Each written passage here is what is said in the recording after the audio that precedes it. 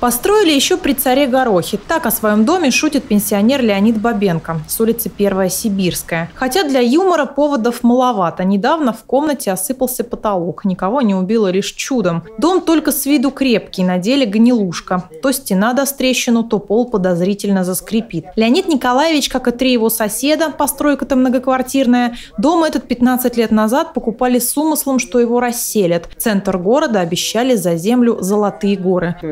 1975 году у нас собрали заявление с этого района некассифицированного, э, что мы, мы, от чего бы мы не отказались, если бы нас выселили отсюда. Я запросил однокомнатную квартиру в районе госпиталя. Дом приходил в негодность, ветхая все-таки, сыпалась.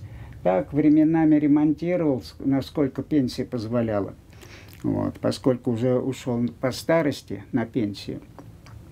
Вот, получал пособие по инвалидности. Не срослось, после кризиса предложений не поступало, невыгодных никаких. Дом рассыпается на глазах, соседи сбежали, инвалиду Бабенко некуда. Ну, конечно, кошмар. Если у кого это случится, я бы не пожелал никому, потому что э, доски-то толстые, они вон во дворе лежат. Отгнили с краю, с торца этих досок и вывалились со своего гнезда. Они были э, в кладку защемлены песком. Вот, а там сверху этот песок. Дыра в потолке останется здесь надолго. Пенсионеру негде взять денег на ремонт. Администрация помочь не может. Дом в частных руках значит бремя по его содержанию на плечах собственников. Мне все отказали. Мне сказали, это частная собственность. Я говорю, ну а человеческий фактор где? Ну, частный, но он же инвалид первой группы. У него такое состояние, он не ремонтирует. У него пенсия маленькая. А у нас, говорит, у всех маленькие пенсии. Вот так мне сказали. Ну, хотя бы волонтеров, ну, я не знаю, ну, какая-то помощь должна быть. Ну, материальная должна быть помощь.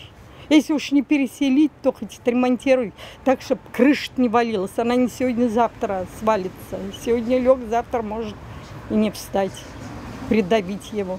У Леонида Николаевича рак, первая группа инвалидности. Нервничать нельзя. Но как тут не нервничать? Помощи особенно ждать неоткуда. От управления соцзащиты получает компенсацию на оплату света и газа. Но это чуть больше 200 рублей. В мэрии нам ответили, предложить могут социального работника. Достаточно прийти и написать заявление. Если ему трудно уже жить самостоятельно в этом доме, он также может написать заявление для того, чтобы его а, определили на какое-то постоянное стационарное учреждение. Для этого он должен пройти будет медицинское обследование, и в зависимости от его результатов, ну, я имею в виду, если у него нет никаких социально опасных заболеваний, таких как туберкулез там, или еще какие-нибудь, значит, он из перечня тех учреждений, которые имеются в подведомстве Департамента социальной защиты, выберет то, где он сможет дальнейшую свою жизнь продолжить. В соцзащите инвалиду готовы помочь и материально, частично компенсировав затраты на восстановление крыши, но с одним условием. Сумма не должна превышать размера двух прожиточных минимумов, а это около 20 тысяч. Остальное сам. Мария Смирнова, Антон Осипов, РТВ Иванова.